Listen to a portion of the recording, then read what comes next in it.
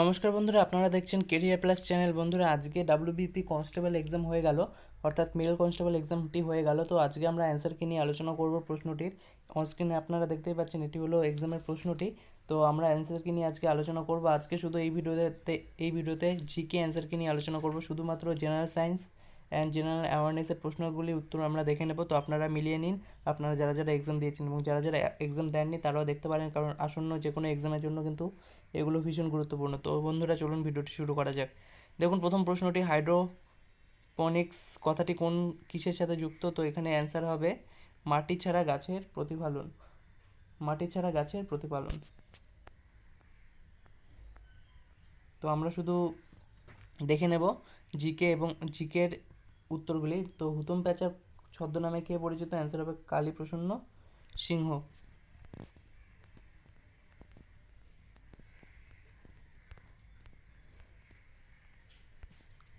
তো এখানে একটি প্রশ্ন ছিল, একটি জাহাজ যখন আন্তর্জাতিক রেখা রেখাকে পশ্চিম থেকে পূর্ব দিকে অতিক্রম করে, তখন সে এখানে অ্যান্সার হবে, একদিন পিছিয়ে যায়। এখানে সঠিক উত্তরটি হবে অপশন ডি একদিন পিছিয়ে যায়।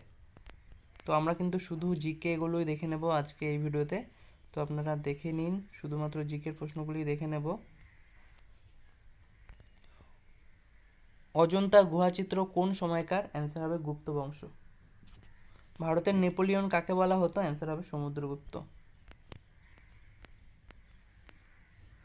গবরা, নাচের গবরা নাচের প্রচলন কোথায় দেখা যায়? অ্যান্সার হবে রাজস্থান। সরি বন্ধুরা, এখানে রাজস্থান হবে না, গবরা হবে গুজরাট। তো গবরা সরি গরবা। গরবা নাচের প্রচলন কোথায় দেখা যায়? অ্যান্সার হবে গুজরাট। গুজরাট হবে সঠিক উত্তর।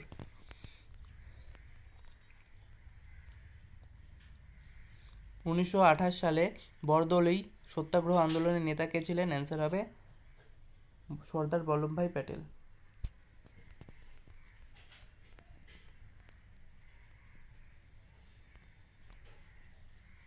এখানে বলেছে সম্রাট আকবরের কোন জায়গার বিজয়কে স্মরণীয় করে রাখতে বুলন দরবাজা নির্মাণ করা হয়েছিল? এখানে অ্যান্সারটি হবে, সঠিক উত্তরটি হবে গুজরাট। কম্পিউটারের প্রথম ভাষা কি, অর্থাৎ ফার্স্ট ল্যাঙ্গুয়েজ কী ছিল? অ্যান্সার হবে Fortran, option C, Fortran.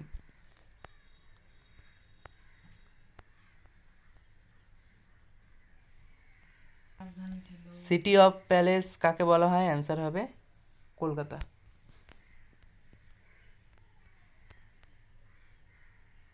পাকিস্তানের সম্ভাব্য প্রধানমন্ত্রী ইমরান খানের রাজনৈতিক দলের নাম কি? অ্যান্সার হবে তহরিক ই ইনসাফ। তারপর যোজনা কমিশনে, অর্থাৎ প্ল্যানিং কমিশন পরিবর্তে নিম্নের কোনটি কাজ করছে? অ্যান্সার হবে নীতি আয়োগ। কাপড় কাচার সোডা হলো, তো বন্ধুরা এখানে সঠিক উত্তরটি হবে হাইড্রেটেড সোডিয়াম কার্বনেট। এখানে বলেছে, ভারতের স্থায়ী গবেষণা কেন্দ্র অর্থাৎ পার্মানেন্ট রিসার্চ স্টেশন দক্ষিণ গঙ্গোত্রী কোথায় অবস্থিত? অ্যান্সার হবে আন্টার্কটিকা। তো দু হাজার আঠেরো সালে শীতকালীন অলিম্পিক কোথায় অনুষ্ঠিত হয়েছিল? অ্যান্সার হবে দক্ষিণ Korea.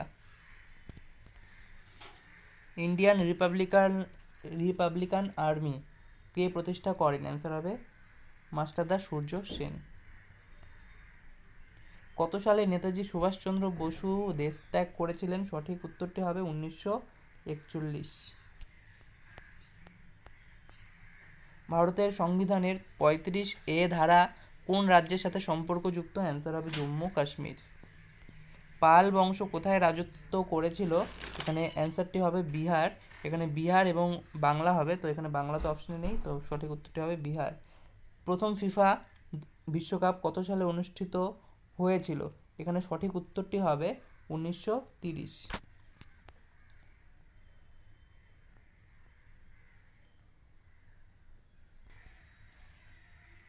তো বন্ধুরা, এই প্রশ্নটি লেক্সিকোগ্রাফি কথাটি কিসের সাথে যুক্ত? এখানে অ্যান্সারটি হবে অভিধান সংকলন, অর্থাৎ কমপ্লি, কম্পিলেশন অফ ডিকশনারি। তারপর প্রশ্নটি রয়েছে, নিম্নের কোনটি তাপ পরিমাপের একক? অ্যান্সার হবে জুল। তারপর এখানে ভারতের শিল্পের জন্য নির্মিত প্রথম রোবটের নাম কি? এখানে সঠিক উত্তরটি হবে ব্রেভো তারপর ভারতে ক্রীড়া প্রশিক্ষকদের সর্বোচ্চ পুরস্কার কোনটি? সঠিক উত্তরটি হবে দ্রোণাচার্য পুরস্কার। উনিশশো পাঁচ সালে ঢাকা অনুশীলন সমিতি স্থাপন কে করেছিলেন? অ্যান্সার হবে পুলিন বিহারী দাস। আটত্রিশতম প্যারালাল বিভক্ত করে। এখানে সঠিক উত্তরটি হবে উত্তর কোরিয়া ও দক্ষিণ কোরিয়া। রোহিঙ্গারা কোথাকার আদিবাসী, অধিবাসী অ্যান্সার হবে মায়ানমার দিল্লির প্রাচীন নাম কি ছিল? অ্যান্সার হবে ইন্দ্রপ্রস্থ ভারতের জাতীয় পতাকার নকশা কে তৈরি করেছিলেন? অ্যান্সার হবে পিঙ্গালি ভেঙ্কাইয়া।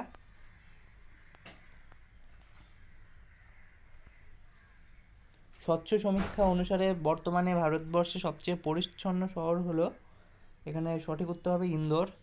আত্মীয় সভার প্রতিষ্ঠাতা রাজা রামমোহন রায়। তারপর এখানে রাশিয়ার মুদ্রার নাম হলো রুবেল। রাশিয়ার মুদ্রা, মুদ্রার নাম হচ্ছে রুবেল। তো মুদ্রা থেকে কিন্তু প্রতিটা এক্সামে কিন্তু প্রশ্ন আসছে। তো আপনারা আসন্ন যে কোনো এক্সামের জন্য কিন্তু মানে বিভিন্ন দেশের মুদ্রার নাম জেনে যাবেন। সেটাই কিন্তু বেটার হবে। তো এখানে খাদ্য সংরক্ষণের জন্য কোন জিনিসটি পরিমাণে ব্যবহৃত হয়? সঠিক উত্তরটা হবে বেনজোয়িক অ্যাসিড বেনজোয়িক অ্যাসিড বাংলায় প্রথম মুদ্রণখানা, অর্থাৎ প্রিন্টিং প্রেস কোথায় স্থাপিত হয়েছিল? সঠিক উত্তরটি হবে হুগলি।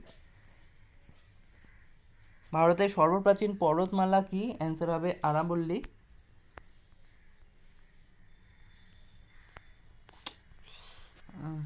পিডিএফটা প্রবলেম দিচ্ছে বন্ধুরা।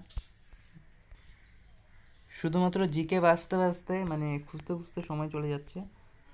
একটু ক্ষমা প্রার্থী। এখানে বলেছে যে কোন প্রাণী পশ্চিমবঙ্গ রাজ্যের প্রতীক? তো সঠিক উত্তরটি হবে মেছো বিড়াল। ক্রিকেট খেলায় নিম্নে কোন শব্দটি, অর্থাৎ কোন টার্মটি ব্যবহৃত হয়? সঠিক উত্তরটি হবে সিলি পয়েন্ট। এখানে বলেছে, বর্তমানে আমাদের সৌরজগতের শীতলতম গ্রহ কোনটি, অর্থাৎ কোল্ডেস্ট প্ল্যানেট কোনটি? সঠিক উত্তরটি হবে, সঠিক উত্তরটি হবে নেপচুন। সঠিক উত্তরটি হবে নেপচুন, প্লুটো হবে না। প্লুটো হবে না, কারণ প্লুটো বামন গ্রহ। সঠিক উত্তরটি হবে নেপচুন। তো এখানে বলেছে, তারপর আমরা দেখে নেব।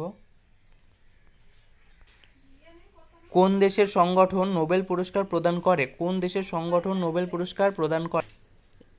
এখানে সঠিক উত্তরটি হবে সুইডেন, অপশন বি সুইডেন। টেলিভিশনের আবিষ্কারক কে ছিলেন? অ্যান্সার হবে জে এল বিয়ার্ড।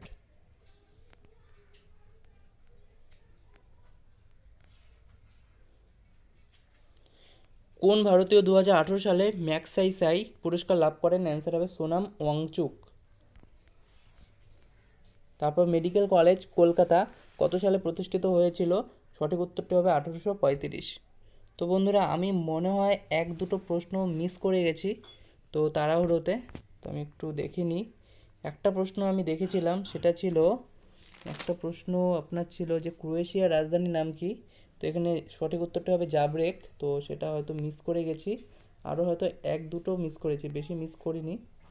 তো আপনারা যারা আমাকে কমেন্ট বক্সে বলবেন, আমি যদি কোনো কিছু মিস করে থাকি, কোনো প্রশ্নোত্তর এখানে শুধুমাত্র জিকে বাঁচতে বাঁচতে মানে বোঝা যাচ্ছে না যে কোন প্রশ্নটা দেখলাম, কোন প্রশ্নটা মিস করলাম। তো আশা করছি প্রায় সব কটাই আপনাদের বলেছি। সব কটা জিকের প্রশ্নোত্তর কিন্তু সবই সবই কিন্তু সঠিক প্রশ্নোত্তর কোনো প্রশ্নোত্তর কিন্তু ভুল নেই। তো আপনারা হিসাব করুন, আপনারা শুধুমাত্র জিকেতে কত পাবেন? তো হিসাব করে আমাকে কমেন্ট বক্সে অবশ্যই বলুন এবং ম্যাথ এবং জিআইয়ের অ্যান্সারকে আমি রাতে আপলোড করব একবার? তো আশা করছি ভিডিওটি আপনাদের ভালো লেগেছে। ভিডিওটি ভালো লাগলে অবশ্যই লাইক করবেন এবং যারা যারা আমাদের চ্যানেলটিকে এখনও সাবস্ক্রাইব করেনি অবশ্যই সাবস্ক্রাইব করবেন এবং আমরা কিন্তু ফুড এসআই অর্থাৎ পিএসসির ফুড সাব ইন্সপেক্টর এক্সামের জন্য একটি বই পাবলিশ করেছি। বইটির দাম রয়েছে সত্তর টাকা। তো আপনার ডিসক্রিপশন বক্সে গিয়ে সেই বইটি কিনে নিতে পারবেন। তো আশা করছি ভিডিওটি আপনাদের ভালো লাগলে, ভালো লেগেছে। ভিডিওটি ভালো লাগলে অবশ্যই লাইক করবেন এবং আমাদের চ্যানেলটিকে অবশ্যই সাবস্ক্রাইব করবেন।